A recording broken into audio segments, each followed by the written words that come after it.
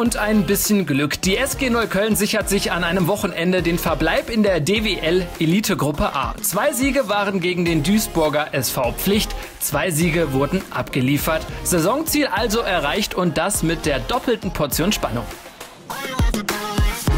Ich bin wieder zehn Jahre älter geworden auf der Bank ähm, und bin am Ende einfach nur unglaublich glücklich. Wie das zustande gekommen ist, ist mir ganz egal. Aber die Jungs haben gekämpft. Spielerisch war das nicht das Gelbe vom Ei, aber ähm, letztendlich zählt der Sieg und wir bleiben in der A-Gruppe. Vor allem am Samstag beim zweiten Spiel der Serie taten sich die Berliner schwer. Bis zum letzten Viertel schwammen die Jungs in den weißen Kappen der Duisburger Führung hinterher. Die Spreewasserballer glichen ein ums andere Mal aus, gerieten dann aber immer wieder in Rückstand. Der Grund? Besonders mit einem Mann mehr die Recken von Florinel Giraud ohne Durchschlagskraft. Aus 14 Überzahlsituationen folgte nur ein Tor. Erst im vierten Spielabschnitt konnten die Spreewasserballer durch Alexandre Kasakishvili den Spieß umdrehen. Der georgische Nationalspieler mit dem zwischenzeitlichen 6 zu 5. Die Berliner mit diesem Zähler auf Erfolgsspur und aus der konnten die Hausherren auch nicht mehr gedrängt werden. Ein 8 zu 7 Heimsieg bringt den DWL-Showdown. Und Co-Trainer Carsten Österreich fasst die vorzeitige Rente. Das Spiel war nicht hübsch, hat keinem gefallen, es war nur spannend und wir haben gewonnen. Das ist die Hauptsache. Das vierte Viertel zweite Mal. Ich bin sechs Jahre älter geworden. Ja, das hat, äh, möchte ich nicht nochmal haben. Morgen bitte nicht.